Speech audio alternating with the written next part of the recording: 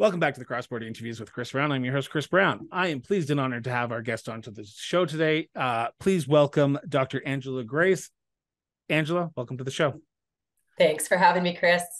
Angela, I wanted to bring you on to talk about mental health, and I want to start my line of questions off with this important question because I think it will get to the crux of what the conversation is going to be like over the next uh, 20 minutes, 30 minutes, 40 minutes. What is mental health to you? Oh my goodness, that is such a loaded question. Um, mental health would be a combination of how a person approaches the world, how a person approaches their day to day life, their attitude, their well being, and also how they respond um, to different situations in their life. So, one could say that um, a person with stable mental health would approach things with greater ease that they would, you know, plan plan their day for health and well-being. They would approach people with friendliness and kindness. They would approach problems with hmm i wonder how we're going to solve that. And so there's just this sense of ease and flow even when there's struggles even when there's problems. Um, in no way am I going to say that mental health means a person is happy all the time. I think that's I think we need to approach all of our feelings. Um, so it's not it, mental health isn't about happiness, but mental health is about being reasonable and approaching your life with a way that says, you know what, I'm resilient and I can handle the setbacks. And oh, this this is a season, you know, like for example, when my grandma died, it was a season of grief when my dog died, it was a season of grief. So it's recognizing and looking after yourself through those challenging times. And then approaching life with with friendliness and kindness and resiliency and effort. So that that's how I would approach mental health. And when I when I listen to my clients' stories, that's what I'm listening for. I'm listening for where are they where are they stuck that they can't seem to get through. And what what things have impacted them um, on a body mind spirit relational level that that we can we can help resolve and move through. So yeah, that's that's how i'd look at it now you are a registered psychologist and i want to I, I yes. well i don't want to put you in an awkward position to talk about patient confidential patient client uh, client, client patient uh, confidentiality and i would never want to uh, ask you any questions that would uh, hurt you in any way. I'm gonna i'll never you, answer them anyway chris. Thank you. Thank you so much for answering that that way. I want to ask this question though, and this is the yes. question that I think a lot of people are struggling with right now over the last few years, and I would say over the last two and a half years since the March 2020, uh, the global pandemic of COVID 19, mm-hmm. there has been a lot of talk about mental health. There's been a lot yes. of talk about ensuring that your mental health is looked after, whether it be through conversations like you and I are having right mm-hmm. now, whether it be through exercise, whether it be through this, that, or the other. How important is it? Because we are and I, I say this with respect but not all certainty. We are at the end of covid. We are in this new period of transitioning out of the post the every day everyone has to be in their house to being able to go out go out unmasked be with a mask however you want to look at it. How important is it in this post pandemic world that we are entering to properly get a check of your mental health? Well, first, I'm going to say I'm not like you. I'm not convinced that we're out of it. I'm not. I'm not fully convinced. I'm not yeah, fully convinced. No. I'm. It's one of these. Uh-huh. I, I, see the light at the end of the tunnel, but I don't yeah. know how far the tunnel is until I exit it. If that makes sense. Yeah. Yeah. Exactly. Well, I think so it's interesting. At the very beginning of the pandemic, um, I believe that the CTV News asked me to come on and just do a little spot about mental health and resiliency. So, so I did, and at the time, I was like, okay, you know, you need to look after your family. You know, these are some of the things that you can do. Well, it, part of what we're seeing now is people are fed up. People are are are fed up, they're confused. The in and out of mandates, um, in and out of masking has been really confusing for people. You know, there's research showing they're helpful, research showing they're not helpful. You know, I I also did another interview um, for the Western Standard about the impact of of lockdowns and mandates on mental health. And the truth is, it's this broad spectrum of some people go in the flow and they're they're like okay this is what i need to do for now and we're okay. Other people are really resistant to it and and it's really angering to them. So now we've got this huge divide. And honestly i think the biggest thing that we need to do right now is acknowledge we're we're kind we're in a mental health mess and we're in a relational mess right now with tremendous division. And one of the most important things that we can do is put kindness first. Like we need to go back to the golden rule that we learned in kindergarten treat others as you would like to be treated. And it may mean not talking with people for a little bit. It may mean settle in and simmer down. Um, I know, get off social media. I know there's, and get off social media for sure. I know there's days when I am when I'm just angry and I am not fit for human consumption. So if you're not fit for human consumption, go have a nap, go for a walk, watch a favorite movie, go have a hot shower, like just chill out because you're not going to be beneficial to yourself or anybody by by stirring things up right uh, so i i do think we need and i'm going to use the word reset i know that that's you know a loaded word for some people. So I don't mean a great reset. I just mean your own come back to yourself, look after your family, look after what you need to do to to be okay. Um, you know, and I want to interject here for a second. Ahead, there's yeah. there's a, there's a statement that you just made that I want to make sure I clarify before we move on. And you and you, yeah. these are these I, I wrote these words down because I found it quite interesting. You said we're in a mental health mess. Can you clarify what you mean by that? Be, like, what do you mean by that? Because mess to me that means that no one's able to get the proper help that they need if they're looking for a psychologist. They're not able to get their yeah. proper uh, treatments if they're going if going to see the doctors. They're not able to properly express themselves. It just mess to me seems like a very loaded uh, statement. We talk about the mm-hmm. word reset being a loaded question uh, word. Mm-hmm to me, mess is a loaded word. So I just want to clarify okay. what do you mean by what do you mean by mental health mess? Okay. Well, what I what I mean is um, people are really suffering right now. Like I'll I'll give you an example of I I have heard of a person or yeah, I've heard of a person who said, I am terrified of living in a world with COVID. Um, I want medical assistance in dying.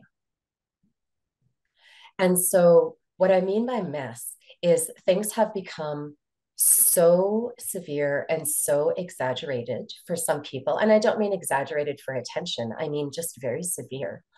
And prior to COVID, there were some streams for mental health that that took a long time for people to get in. So I know there's oh shoot, I've forgotten the name of it. There's um a mental health hotline. And so people can call into the hotline and they'll divert them to different services. Well, prior to COVID, it was taking six to nine months for people to get in. So if that was prior to COVID and now mental health and health has increased, those that stream is now 12 months and beyond. So you can call and and need help and not have not have the finances or extended healthcare benefits to pay for private services. So you do need to go through the public services. And it, it's it's like, yeah, we'll see you in a year. Here's the distress center, right? And so we have these, like we have the um, the hotlines to call. So like the distress center, the kids help phone, we have these, and those are very like they're a short term 15, maybe 20 minute phone call to help people get out of a crisis. And they're overloaded right now. And then we have the the or access mental health. That's what it's called. It's a really important service with Alberta Health. Um, but now it, it's taking 12 months and longer for people to get in. Um, myself, I'm in private practice, so people can use their extended health benefits. I I have never been so busy and I have never had to turn people away before. And so it breaks my heart to tell people, I'm sorry, I am over capacity and I need to refer you refer you elsewhere. But then I re- when I refer people elsewhere, they're often very busy as well. So it, it's interesting. Like you you you introduced me that my you know my PhD was in the prevention and treatment of eating disorders and body image issues. And so from that, we have to look at prevention is more cost effective than treatment. So we really do need people to look at their own prevention for mental health mental health issues but at the same time some of those aren't good enough. Like doctor you know it's it's great. Yes i fully believe that exercise is is an important way to manage your mental health. Um, you know go for a go for a good run or a swim or something burn off the adrenaline like get yourself into a calmer state of mind. But the truth is we can't we can't always rely on that. And now for some people and and i'm going to put myself in that category so i have long covid i got covid in february i've had so it's now nine months for me and my exercise that I used to be able to do for mental health, I can't do anymore because of my lung capacity and my heart. So I've had to find other ways and start to make peace with that.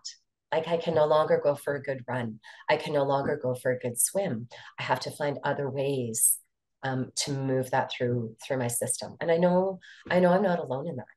So part of the issue that we're dealing with now is the mess that we're in has been a long time of confusing in and out of mandates it's been a long time of now um, our our healthcare system being being overloaded and mental health systems being overloaded and now we also have the additional issue of the neurological and mental health effects of people having had COVID and dealing with the brain inflammation. And I'm sorry, you can't deal with the brain inflammation um, and the neurological symptoms that have happened from from people having COVID. You can't deal with that by thinking positive. You can't deal with that by going, you know, going for a good run. You can't deal with that um, with like yes you do need to have a tremendous amount of self-compassion and patience but at the same time your your body and your brain have changed. And we need to we need to do the studies and do the and do the work on how we can actually help people deal with this. Like i will give an example of a child. Um, you know not able to go to school because of having a severe migraine. And parents going out of their minds because this kid's not going to school. The doctors are saying it's all in their head. And then I come along and say, When did your child have COVID? Well, in March 2022. Well, when did their migraine start? April 2022. So I said, we're dealing with we're dealing with inflammation. And it's going to be it, it's going to be a challenge to to move past this you know the other thing, thing i've seen with kids is the development of this existential fear of death. Um, existential like from separation anxiety afraid that their parents are going to die um, afraid afraid of going to school and not seeing not seeing their parents um, developing eating disorders as a way to cope with it developing hand washing habits um, because because we teach kids if you're sick wash your hands. Well if they're afraid of being sick maybe if i wash my hands 50 times then it'll relieve the anxiety. So that's why i'm saying we're we're in a mess because there's there's not there's there's not enough mental health prevention and health promotion information going out to the public on the things to do to look after your mental health. Um, there's there's not enough treatment right now. We're also in, like prior to this, we had op- opioid crisis and addictions that we needed um, we needed more supports for. And so now what's happening is people are suffering. And of course, wanting an escape. So it's actually more challenging now. So we really need to look at the evidence based best practices of how people can prevent issues, can manage them, um, and then how we can how we can treat some of the most severe. And I was already treating a lot of PTSD prior prior to COVID, and now it's so much more. So there's a few things I want to unpack with their statement. Yeah. And I want to I'm going to talk about prevention a little bit later here in this this episode, but I want to start with this. And this might be a controversial segment. So please That's okay. please bear with me while I ask this question in the most appropriate not appropriate way that I can. And that is the rise of social media, the rise of online news, online resources is giving a rise to outlets and professionals and people who want to, who say they want to help but may not have the teaching the resources like someone in your yeah. field has yeah so yeah. while we try to battle back and try to fix the mess that's there fixing the mess doesn't just start with the patients, but it also starts with the information that's out there. And the information out there right now is saying what you're saying is wrong, what I'm saying is right. What they're saying is wrong, what uh-huh. I'm saying is right. So, how do we battle back against the misinformation, but also the neg- negative information that people are getting, and then using that information to try to fix themselves, if that makes sense. Yeah, exactly. So, what you're talking about is something called confirmation bias. And what it is, is we all come, you know, we're born into families and our families have have ideas and values and and ways ways of being that we that we take on and and so that's that's what we're moving into here is we've got these values and we've got people wanting you know wanting freedom and wanting you know to do their own thing and wanting their independence and and you know i don't want some i don't want someone telling me what to do. So i can i can absolutely respect that because i don't want those things either. But we have to we have to step back and just say we're in unprecedented times here and it's not going to help anybody with with all the fighting and with holding firm to a belief that maybe maybe doesn't serve anymore. But what confirmation bias is it's saying well i think this so i'm going to find all the articles and all the things that say that align with what i think and that's my proof. Well you know eh, and and that's what that's what going through grad school and my phd taught me very firmly is that there are no absolutes and we have to look at all the pieces of information and arrive at the best possible decision. And what's hard is people are really, really stuck, stuck in their views. And it's hard, it's hard to shift that. So so how do you I shift that when you have when you're trying to deal with prevention? Because I think that's that's yeah. where I'm getting stuck here because there is a lot of confirmational bias that is out there. Like don't get me wrong, there's yeah. things that me and my husband fight about all the time because I'm like, well, we did it this way in my family, so it has to be done this way. There's people out there who will say the exact opposite. How do you battle back and get to the prevention matter when there is yeah. so much confirmational bias out there that people are just not even worrying about the prevention part of the aspect of it because they're so entrenched in the confirmational bias of this is how I'm going to prevent it my way, not not the way that it should be done, yeah. but the way I believe it should be done. Exactly. Well, I'm going to tell you a little story what happened in grad school for me. So, I was doing my I was doing my research on eating disorder prevention in schools. And just short story of how I got there was I used to be a teacher. I was a grade 1 teacher. And one year something was off with my little grade 1 girls and I caught one of them throwing out her lunch. And when I caught her, I said, "What What are you doing, honey?" And she said, "Oh, we started a diet club to be like our moms, and they were throwing out their lunches at recess and running or behind my back and running laps around the playground at recess to try to lose weight." And I, as a teacher, had nothing, nothing in my teacher training to help these little girls. So that's why I went back to school and focused on eating disorder prevention. So that was the start. And what happened was it grew into this great big funnel uh, just this expanding story of it's not just prevention of eating disorders, it's comprehensive school health.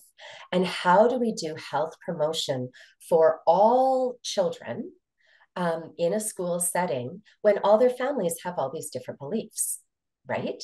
And and then teachers are like oh well we have to prevent obesity so we're going to take away all the kids snacks. And it, it's like mm, those aren't quite the right things. So we have to look at what is the best practice messaging to help people understand why we need to do things a certain way okay? So for example if i was going to go onto a construction site um, i walk onto the site and they say hey you have to put this this hard hat on. Well I don't want to mess up my hair. So why do I have to put a hard hat on? Well, if they explain to me, you're going to be moving past equipment and, you know, something could happen. So we need to keep you safe. Okay, that makes sense to me. I'm willing to mess up my hair for that. What's what's happening now is there's so much mixed information and and our if we look at our you know occupational health and safety are not giving, like our provincial health and safety, are not giving us the information. And I'm going to say it, it's because they're toeing, they're toeing a political line to impress people. And it's, it's really, it's really, um, so going back to my research, what the outcome was is that nothing changes and no prevention, no health promotion happens if those at the top don't believe it to be real or important. So I, as a teacher, went in and said, Hey, these little girls are starting to have eating disorders at age six. And at the school, they're like, Kids don't have body image problems. Kids in grade four don't worry about that stuff. And I'm like, No, they actually, they actually do. And so it takes a lot of of talking and um, good evidence that says, yeah, we actually need to take health promotion and health prevention very seriously.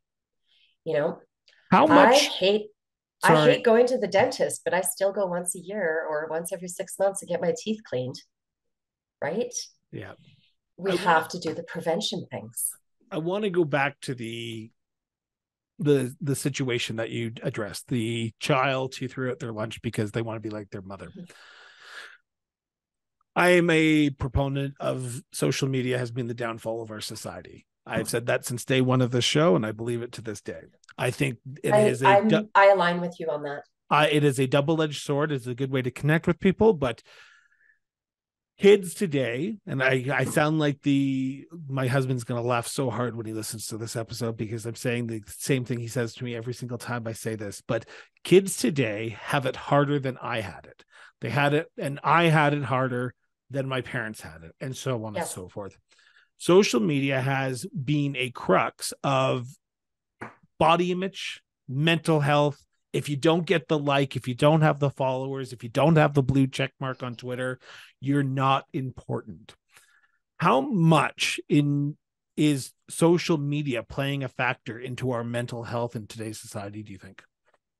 Well, I think that's part of the problem right now is because we were so isolated at the beginning of the pandemic and eh, that people needed some kind of access some kind of access to socialize to, to be with other people to look at something to to be engaged to keep their brains engaged. And i'll tell you at the beginning of the pandemic um, it was probably about hmm, eight months in or so my husband said to me you're on your phone a lot. And i was like yeah i'm, I'm looking at i'm looking at facebook. And then it was oh i found this group that i really like so i'm chatting with them. And then i'm like oh my gosh you're right. I am on social media way too much. And it's because I do want, like, I'm a chatty person. I like, I like to talk with my friends. I'm not going out with, with people. I'm, this is what I'm doing. And then, so I just quit for a while and I realized it was all fake relationships. It was like, yes, I was part of this group. And yes, we were chatting about things.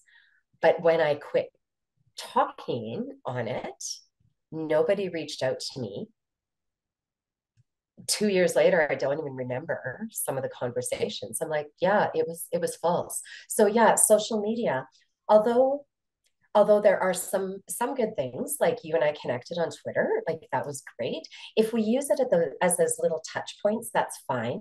Like hey this is interesting and now how does it apply to my life? Fine.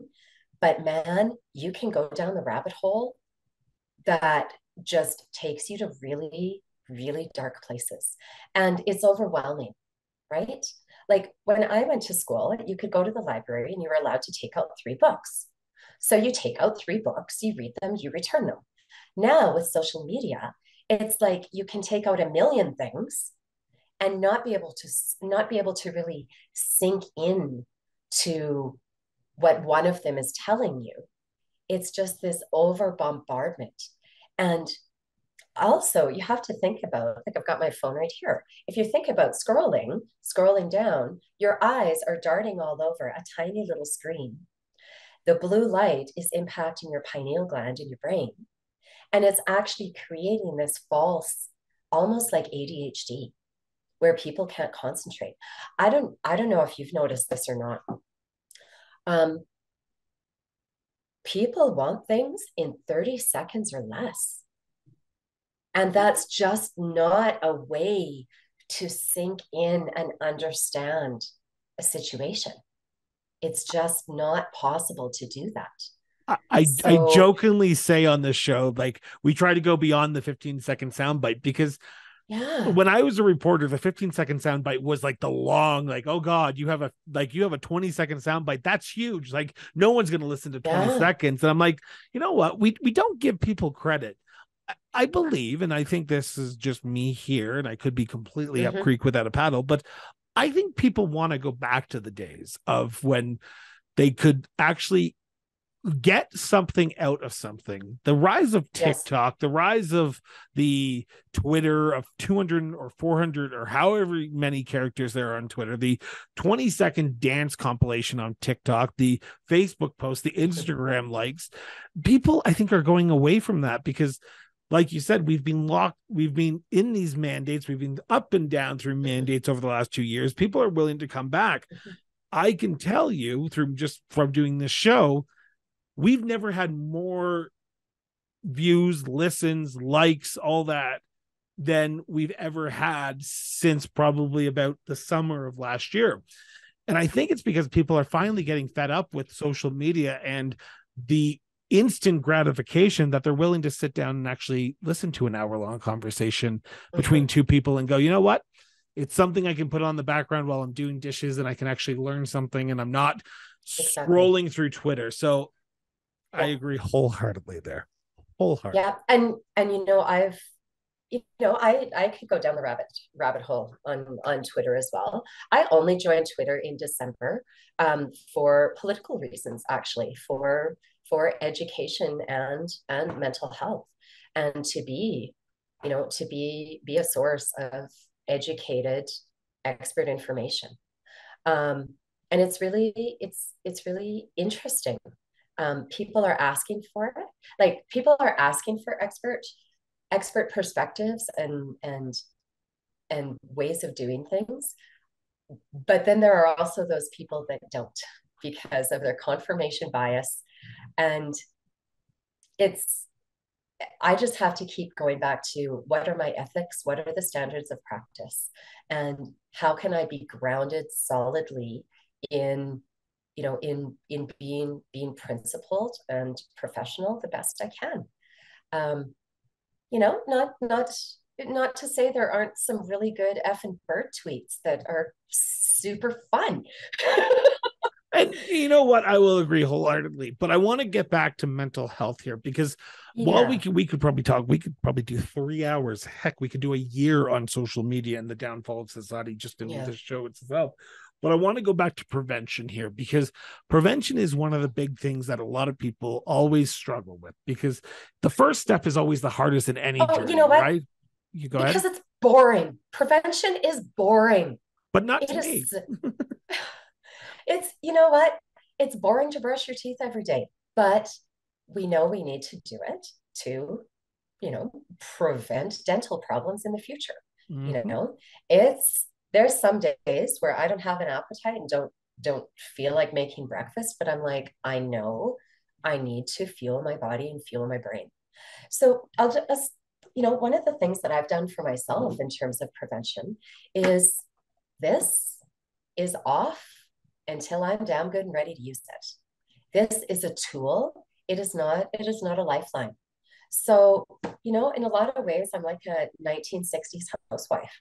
I just, I get up in the morning, I make some breakfast, I do some yoga, I walk the dog, talk to my husband, you know, maybe chat with a friend, get myself ready and you know meditate like there's there's a book i'm reading in the morning so i do that and then I get out my calendar. I'm like, what are my goals for the day?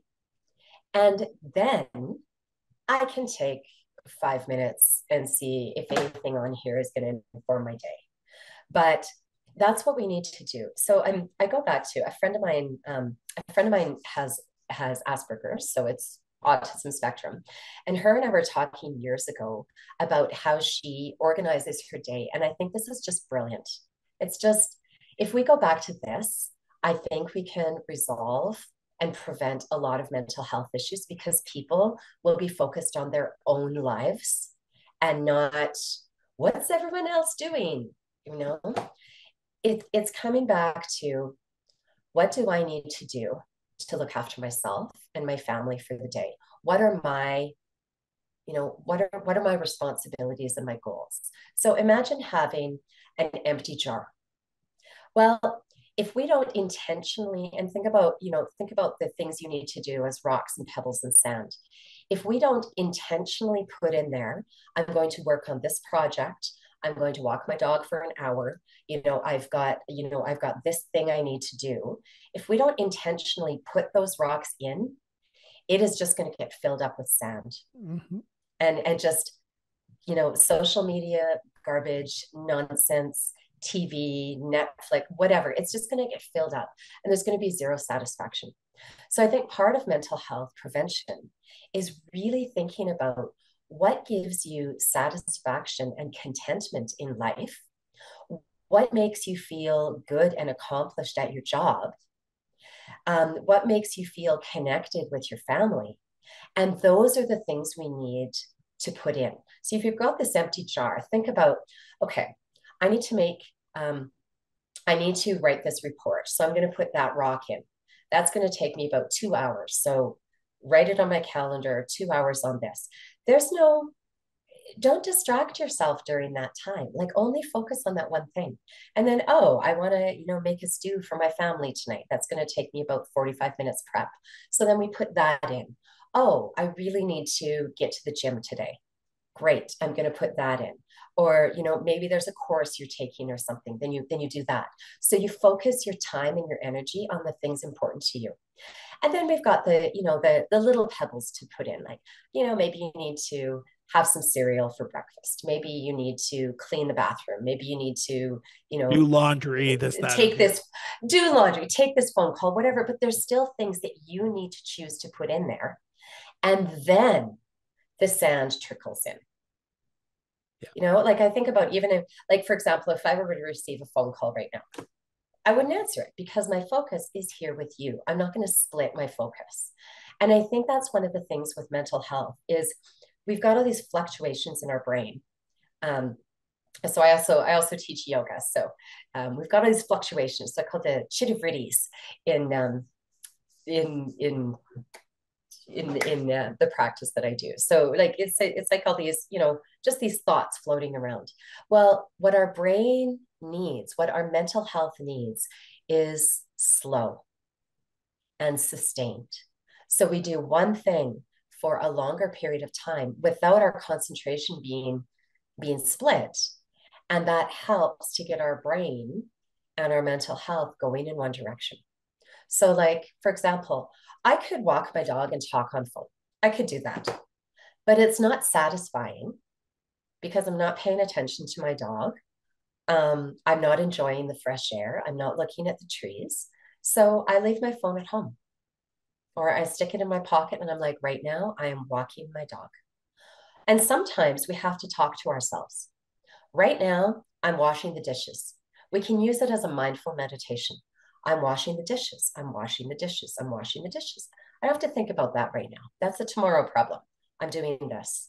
So, one major thing for mental health is to focus on one thing at a time. And that's why I made the comment about like 1960s housewife.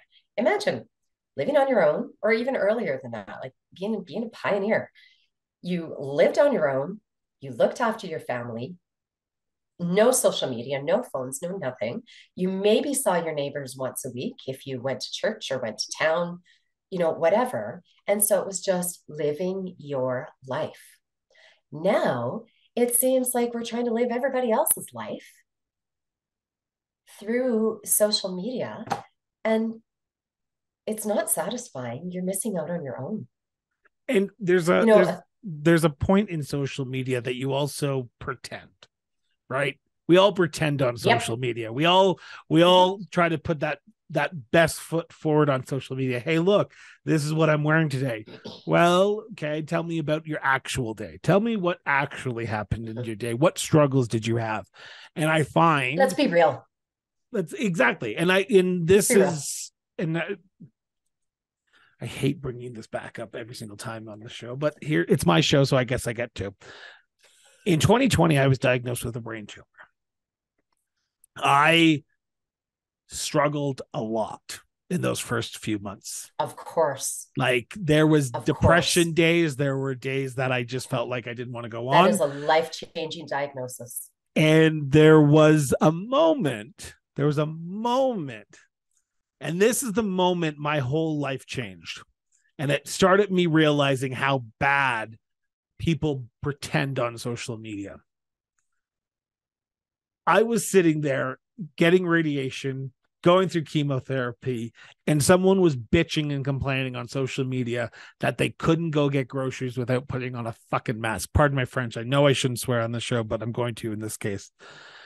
And the first thought I had the first thought I had was if the biggest issue in your life right now is you have to wear a piece of fabric for 30 minutes to go pick up milk while people are dying and people are struggling every single day with cancer treatments, with radiation and chemotherapy, boy, I wish I had your life because, dear God, you have it good compared to all these other people who are sitting around me right now with poison running through their veins. Sorry,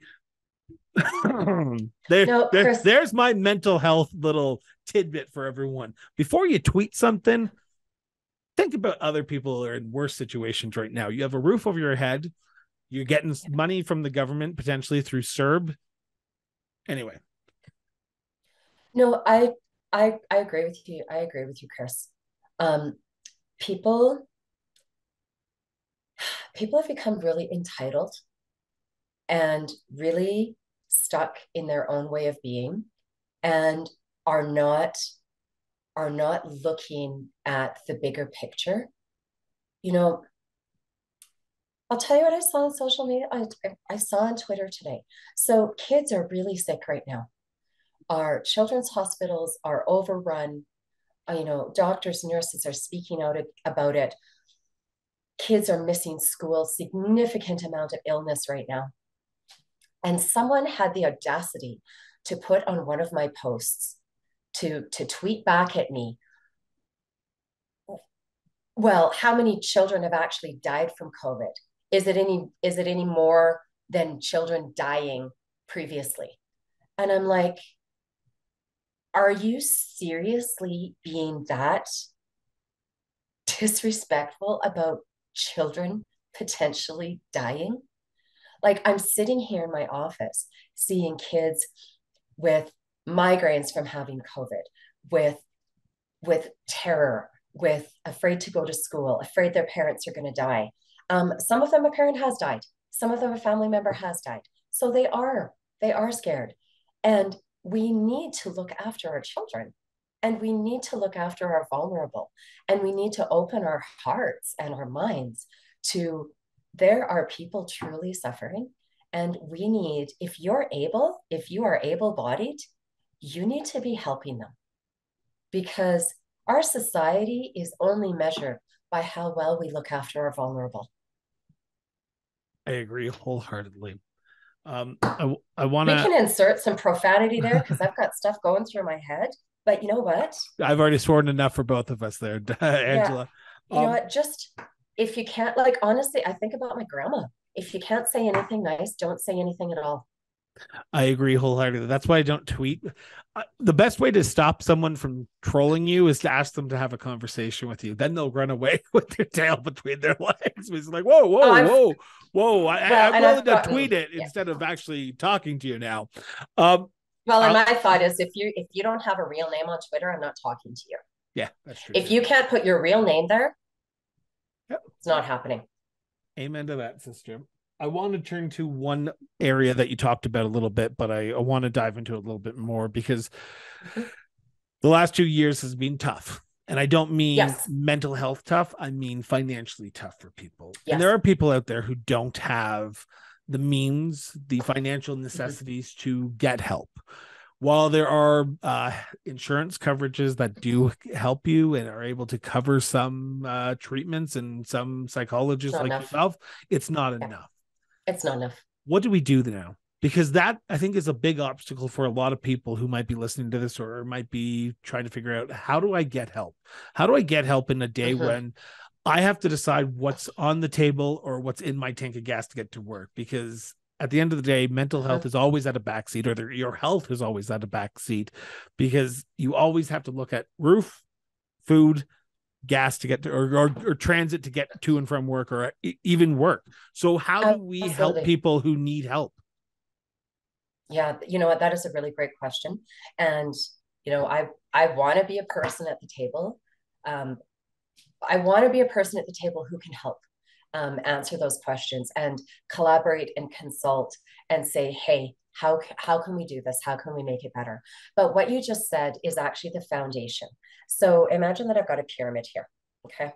So if we think back to a hierarchy of needs, is the very basis is we need to look after our physical health and safety. So exactly what you said, food on the table, roof over your heads. How can I get to work? How can I look after the kids? Yeah. Right. So we need to all, every single one of us needs to bring it back down to that level. And then the next level after that is looking at the sense of belonging. So I think about what's happening, you know, with kids in school right now. Higher learning, education is way up here on the pyramid. We've got so many levels before that. We need to look at you know what is what is the health and safety factor what is belonging and then the next is self-esteem and then creativity and then higher learning right?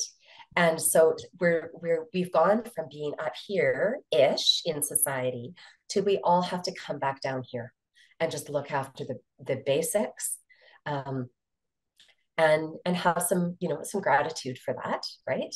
Like you know, I'm not, I, I, don't get to do everything I want to do, but you know what? I'm so grateful for the roof over my head, for a loving husband. You know, we can put food on the table. We're good. We're good. And right? there's people out there who can't. So how do we help? Who can't? Exa- exactly. Well, and how do we help people? Because we have a and I, I don't I, hate turning things uh, political, but we have to do, we have to in this case because the provincial government the, exactly the provincial government under Danielle Smith and Jason Copping are the health minister and the uh, premier of this province. Mm-hmm. What would you be telling them right now to try and help the vulnerable in our communities to get this help that they are so desperately needing when it comes to mental health? Well, I'll tell you the letter that I wrote to every single MLA um, mm, just over a year ago was get your head out of the sand. Get your head out of the sand. You are entitled. You have the responsibility and the privilege to be an elected person, elected representative to look after Albertans. And you need to do that. You need to listen. And you need to listen to the people on the front lines who know what is happening. And they have answers. They do you think they are? They know what needs to be done. Do you no. think no. Okay. I think no, they no, have the confirmation bias that they're listening to the people that are giving them the information they want to hear instead of listening to those of us that are saying we need to get back to just the basics for now. Like this idea of sovereignty, that is so high. Like that is such an entitled way of looking at the world when people are suffering. And so put that on the back burner. Let's look after what needs to be looked after right now with people's health, mental health, finances, so that maybe someday down the road that can be important. But right here, right now, that is not going to help people with sick kids. It's not going to help people put food on the table. Um, it's not going to help, you know, like, you know, I believe in small business entrepreneurs. However, when with businesses shut down and in and out, people don't have the space or the capacity or the finances for luxury right now. We have to just bring it back down to can we be grateful for this and what we have can we can we share with those with those who don't? And like i said earlier it's not going to change until the people from the top believe that it's important. And i hear murmurings in the background of like we need a revolution. You know people albertans need to stand together and say this is not this is not who we are. This is who some people are but this is not who we all are and there are people that truly truly want to help. And you know like i was thinking about it. I was thinking about it. And and i think about like let's think about calgary 2013 when the floods happened. Everybody stopped and went and helped those in need. And just because this has been an invisible, invisible virus that impacts some people terribly and other people not, um, it impacts some families, you know, like financially, you know, with the shutdowns and everything, and and some people not so much. We have to say, okay, just everybody pause. What do we need to do to help those in need? And what do we need to do and I'm not even going to say get things back on track because back is over. Like it's over. How can we move forward in a caring, compassionate, logical way that makes sense to help people get on their feet, help prevent further illnesses? You know, and like you said, seriously, if wearing a mask over your face for a short period of time to prevent illness in vulnerable people, you know, I had someone say, "Oh, I don't, you know, oh, I don't need to wear a mask. Everything's fine." And then they phone me later and say, um, "Actually, yeah, I I got home and my child is really sick." So the truth is, we just don't know. It's not like a flood or planes crashing into a building. Um, it's not where we can visibly see it, but we need to feel it. You know, we're kind of in Jurassic Park right now like we literally are. We don't 100% know what's going on. There's way misinformation out there. There's people with these grandiose ideas about how great it is. And the truth is, it's not. Agreed. People are hurting.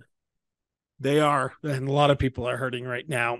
I wanna I wanna ask you a question, and I I I, I know you are in a private practice and i would never mm-hmm. want to tell you ask you to give free advice to people but i'm going to ask anyway because that's my show and that's what i get to do for those well, people and i'm and you know what? I am happy i am happy to give best practice broad best practice prevention and health promotion advice that is going to help the greatest amount of people possible. I am happy to do that. So let's do it then. So let's for those it. for those who are struggling right now for those who may not be able to afford or get into because that's that's a whole nother issue that we haven't That's talked about is Yeah. there are people like you said you're turning people away at your door saying i would love to help you but we can't we're at capacity and you need to go to this Yeah. cl- person and they're basically pushing them off that's our healthcare system god bless it um there are people struggling there are people who are trying to get into the system but can't. while they wait while they try to navigate through this system that is the alberta health services slash uh, the he- meta- mental health uh, uh, care Yeah. what advice what help could you give them in just this brief moment in time and say okay while it may not help help everyone but this is a starting point this is what you can do right here right now to start working towards a better mental health Yeah, I would say community. You need to find your people. And it can be one person, a couple people, it could be a free group, it could be a church group. Get around people and start making those connections there. You know, like I, I think about I'm I'm met this met this sweet lady through Twitter. Um, we met in person she was great and now she's she's invited me to her you know virtual tea party. And i'm like yes that that is a meaningful and not just you know not just go out and do stuff but meaningful connection. You know i just reached out and talked with family that i haven't talked to for a while. I called some aunts and uncles and i'm like hey how are you doing? Call a family member. Call a sibling. I mean, you may not be able to if they're conspiracy theorists and out in, you know, left field, but think about the people that you can connect with that aren't in left field. You know, I do, I do, I used to do coffee dates with people. You know, I'm I'm staying out of enclosed spaces right now, so I go for walks. Um, I check in with with a couple friends. I it it really we really need to come back into community. You know, like I think I think about some indigenous teachings that I've learned, and it's about being in being in circle together. Um, the Elizabeth Fry Center in Calgary, for example, has both an in-person and I don't know if they're doing online right now, but they probably will again. But they have a women's drum circle with with teaching and sharing stories and and praying together and and learning learning together that is a beautiful sort of sense of community. You know so we really do have a lot to learn in truth and reconciliation as well about being in community together and being respectful of everybody in the community together. So that's what i would say. And you know what else? Get a pet. If you need to connect with an animal, if that's your source of connection, have a pet. If your source of connection is talking with your grandma every day, with your parent every day, you know, if there's one friend you can reach out to. Um, I can't say all the resources that are available because um, I don't know them all, but I can say there are groups waiting for you.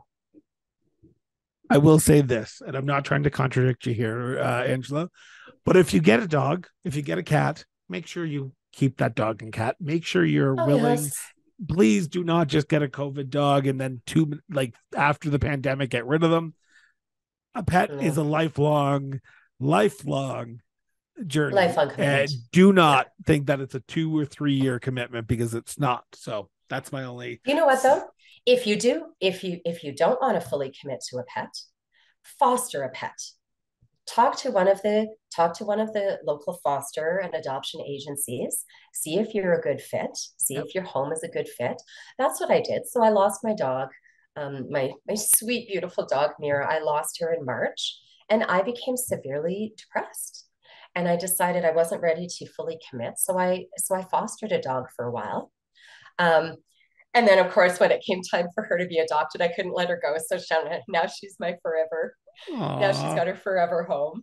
Sweetest little, sweetest little muffin. Um, but no, Yeah. I- understandable there. no, exactly, exactly, exactly. I want to leave on this question, and this is going to be, and then I'll, I'll do my uh, wrap up here, Angela.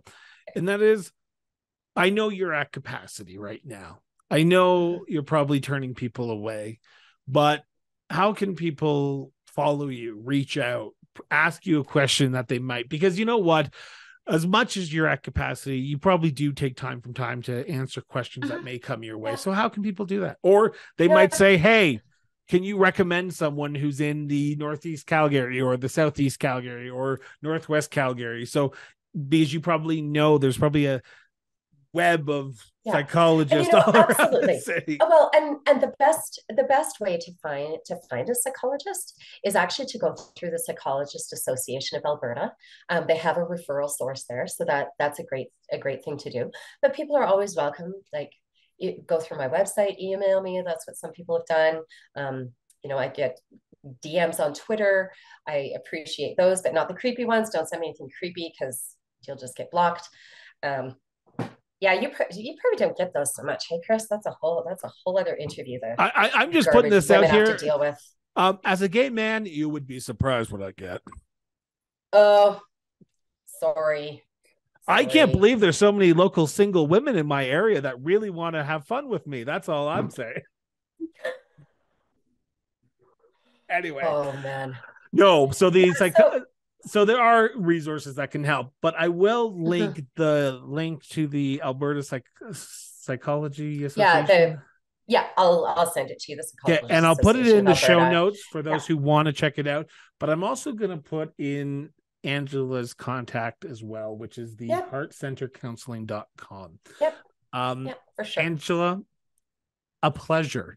I can't believe it's been an Thank hour, so but here we are, oh an gosh. hour. I know that's the great thing about these long interviews. and, my, and do, do you know what? Actually, this I really, I actually really appreciate this because I have had to turn people away, and it just it breaks my heart. I've never had to do that before, like never. But when you when you have boundaries and and you know your you know your personal limits, you know, you have to you have to do that and so i appreciate this and i i really hope i really hope that like i, I call it planting seeds of goodness so i hope that some of the seeds that i've planted will land on the people that need them and i hope so as well um I want to thank you so much for uh, sitting down, chatting with me today. It was greatly appreciated. And I want to speak directly to the people who are listening and watching this right now put down social media. I say this at, at the end of every single interview, and this one is no exception because this one is more prevalent than ever.